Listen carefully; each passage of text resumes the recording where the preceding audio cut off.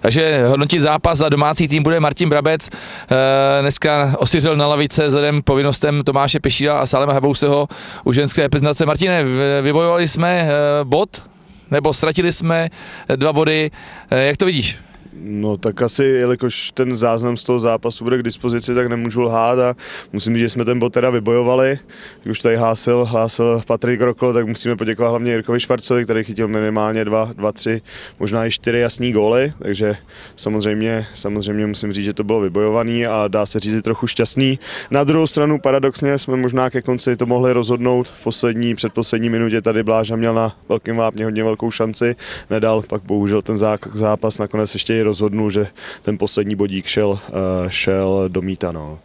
Eh, Je to zklamání, že ty penalty nevyšly, teda potom, jako když už ten, ta remíza, eh, tak že ty penaltičky na rozdíl od minulého zápasu s Kolínem nebyly úspěšný. Zklamání to určitě je, samozřejmě jakoby ty penalty už je pak jakoby velká loterie a může to být vlastně na kohokoliv, na jakýkoliv tým ten bod navíc. Vyšlo nám to v Kolíně, tak asi bohužel dneska nám nebylo souzeno. Co k výkonu Jirky Švarce dneska? Tak absolutorium, samozřejmě tady hráči, co říkali stopeři od nás, tak útočníci z něho byli úplně, úplně mimo, že v takovýchhle vět- letech může vůbec jakoby podávat takovýhle výkony, ale tak to je prostě Jirka Švarc, no, k tomu se asi víc nedá říct. No. První půli Tomáš Bláha Břevno, druhý půli diváci čekali možná vysoký mýto, ale byli jsme to i my, kteří jsme se sympaticky tlačili dopředu, takže to nebylo to, nebylo to o tom, že bychom eh, zuby nechty bránili. Je pravda, že ten nástup, eh, nástup do toho druhého poločasu se nám poved. Myslím si, že v těch, v těch prvních minutách deseti minimálně jsme byli lepší než Mýto.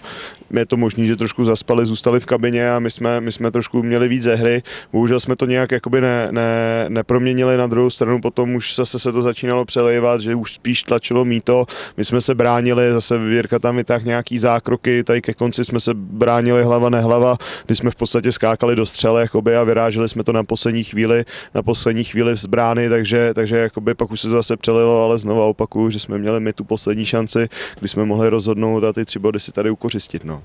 Remizovali jsme s týmem, který bojuje o postup, pro Kopaní určitě dobrý výsledek, Eh, je to další bodík, 12. k- ke dvěma z minula, Po- pomalu se posouváme, posouváme k tomu podzimnímu nějakému součtu. Eh, Kolegové, pochválí tě kolegové, až dorazí za tuto remízu?